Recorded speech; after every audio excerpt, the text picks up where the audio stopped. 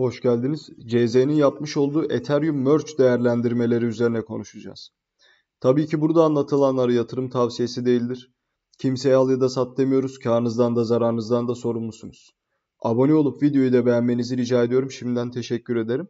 E, CZ yapmış olduğu açıklamalarda bazıları entegrasyondan sonra Ethereum gaz ücretlerinin anında 10 dolardan işlem başına 0.02 dolara kadar e, düşeceğine inandığını fakat bunun gerçekleşme ihtimalinin çok düşük olduğunu, ücretin bu ölçüde düşmesinin e, hayli zaman alacağını söyledi.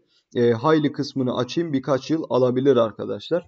Yani bu tabii ki e, bir anda olacak e, bir şey değil. Yani net bir kritik bir geçiş değil. Çünkü merge'den sonra zamanla yani e, keskin bir hareket nitekim e, güvenliğe de oldukça zarar verecektir. O yüzden yavaş ve kontrollü bir e, geçiş etabı planlanıyor.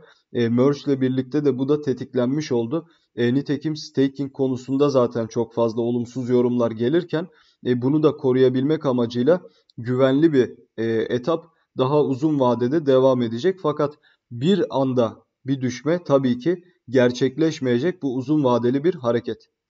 İzlediğiniz için çok teşekkür ediyorum. Abone olup videoyu da beğenebilirsiniz. Bol kazançlar dilerim herkese. Hoşçakalın.